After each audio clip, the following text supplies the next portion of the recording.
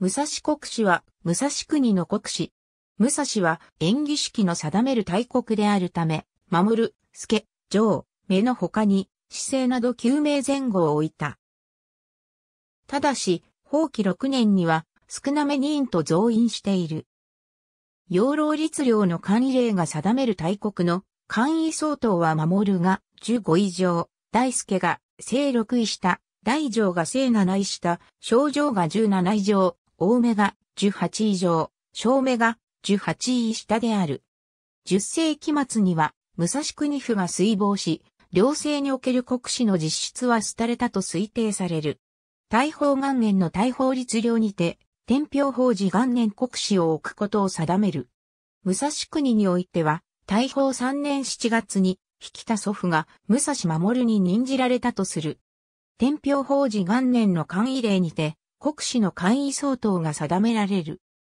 旧世紀に入ると、国史を在庁官人として支える、軍事層や渡し水庫等で肥大化した富豪層等の在地有力層の台頭が国画支配を左右し始め、また、洋、朝等の納税の質の低下や未信が相次ぐなど、律令体制に次第に主観と乱れが生じた。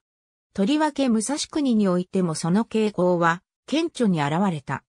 例えば上元年間に武蔵国史の倉州が反乱を起こしたため、当時の朝廷はその鎮圧のために天台宗の僧侶、江領を武蔵国に派遣。上元3年には国別に設置されるケビー氏が、武蔵国は特に各軍別に置かれるほどに乱れていた。10世紀に入ると、演技5年延長5年の演技式にて、国史の細目が規定施行されさらに制度上の整備が進められた。しかし、台頭した地元富豪層は在地の軍事層や土着した全人国史と休合して、さらに国画支配を動揺させていた。武蔵国では、演技19年、全権助の源氏が、乾物の横領、国府の襲撃を働き、武蔵守、高婿の年春を攻めようとした。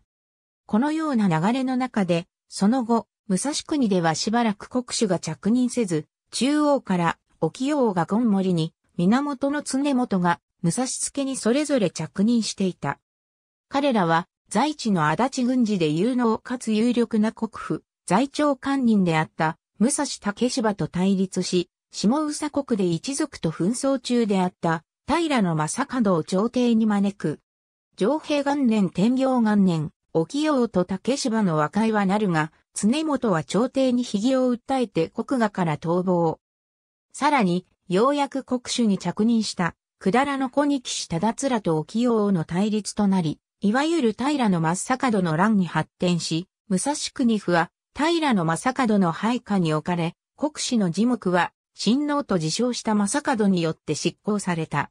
天行2年6月には、常本の訴えが、朝廷に認められ、武蔵健介となった小野諸教らが、横領氏に任ぜられ、正門追部の幹部が発せられた。翌940年に正門は討ち取られて乱は鎮圧された。交渉として芸野国横領し、藤原秀里が14人した、武蔵守及び下の守に任ぜられた。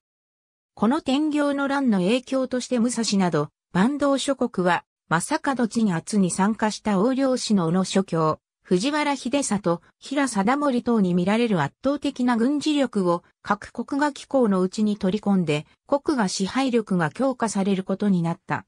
ついで10世紀後半には、国画支配の強化の一環として、国史のうち国主への権限の集中化が進められた。すなわち、徴税権、軍事権を含む一国の権限を一括支配する、受領国主制が成立した。11世紀に入ると、受領国史は現地に着任せずに、受領国史制も形骸化し国画は、木大が置かれる薄書と呼ばれるようになり、木大以下の在庁官人に支配権は、委ねられるようになった。その一方、開発電が増加、成長し国画の香料以外にも渡し量である、荘園が発展し、一元支配的、高知公民制から複層的支配関係の荘園香料制へと変わっていったが、在庁官人制を支えた在庁官人も多くは、このような開発領主である。武蔵国でも、同様に在庁官人制が進展し、前系の兵士一門出身の秩父氏や小野氏及び、草薙氏等の在地の有力領主は、在庁官人を担う一方で次第に武士化して、武士団を生み出した。12世紀には、在庁官人制の進展とともに、中央では着任することのなくなった受領国士は名目的な地位と地業特分の権利者を意味する地業国主となり、近親者や故皇の配下に国主を任せることも行われ、いわゆる地業国政が広まった。皇和5年には白河上皇の損傷地蔵営費用を寄進の皇で、藤原行実や源の賢春が武蔵守に任じられたのは白河院の近親の源の正俊が、この頃の武蔵国の地業国主であったためと考えられている。平氏政権では、政権確立にこの地業国政を積極的に利用した。その中心人物である平清盛も武蔵国の地業国主であったと推定されている。また在地では、上記のごとく武蔵国の在庁官人から中世武士団が輩出した。武蔵権森、平正常を祖とする、七武士は、正常の孫、重綱が、留守所の総研業職に任ぜられて、以来、同職を送電し、武蔵国内の武士団を統率した。また武蔵国玉郡小野里の小野巻別当出身の小野氏は、小野諸教が戦術の武蔵健介兼王領士として着任、以後在庁官人として活躍したが、小野義高は横山氏を称して武蔵七島横山島の祖となった。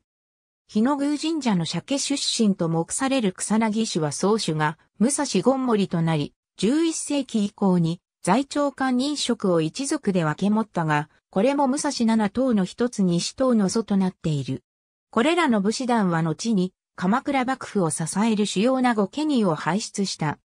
源頼朝による鎌倉幕府の成立以後、征夷大将軍、頼朝の関東五分国における地業国試験によって、配下の御家人に国主部人への推挙が行われるようになった。北条氏による支配が確立して、以降は、相模神となった執権に対して、副執権である連署が、武蔵守に任じられるようになり、執権、連署は、両国主と呼ばれた。日付イコール旧暦在任期間中、内は、司書で在任が確認できる最後の年月日を指す。院、大日本史、国軍指標による。府中市教育委員会生涯学習課、府中市の歴史、武蔵国府の町府中市教育委員会、2005年。府中市市編纂委員会編、府中市資料集15古代中心、武蔵国関係資料集府中市、1967年。大田良、日本国史資料総書第5巻、武蔵国臨戦書店、1992年。ありがとうございます。